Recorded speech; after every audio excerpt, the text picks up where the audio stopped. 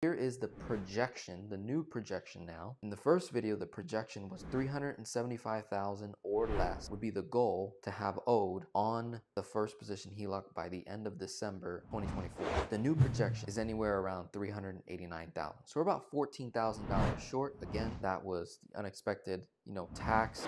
I, I knew I had tax, but the number was a little bit higher than I thought. And the unexpected expense property. So that about, you know, does it right there. So we know where that shortage is coming. We can clearly see that. What I did here, super conservative, I think I think I'll end up doing better. All I did was reduce anywhere from like 13 to 10,000 and I really just did 10,000 all these months. The first month I reduced it by like 13,000. So really the cash flow per month will be about anywhere from as low as 10 to as high as 13,000 in net cash flow. But again, as I'm doing velocity banking, what's actually happening is there's about 20,000 or more that's actually sitting in the first lien HELOC. Expenses are coming out slowly, so the interest cost is what's going to make the the difference, right? So I'm I'm assuming already kind of calculating interest in here and then just reducing the net number by principal net number going down by. So by April, that should be around 431 because we borrowed the out we took out of the HELOC to pay taxes and pay the policy. So it drove the number up and then income went in,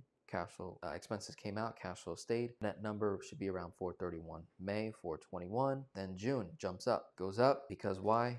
Well, we're paying policy, the 84K. Once that happens, that 84 goes into my policy, then I'm gonna borrow $46,200 out. You'll hear me say that in the first video. $46,000 uh, loan, policy loan comes out, brings the balance back down then another net 10k new cash flow for the month of June. So the balance would be anywhere around 459 to 449 because in June is also the estimated tax payment. So it might net around here or somewhere around here. We'll see. My goal is to create a video each and every month, typically around the end of the month, to show the result of the previous month. So in April, I'm going to show March's actual number. In May, I'm to show April. So that's how we're July should be around 439, August 429, September, October. September will be another tax payment. That'll come out.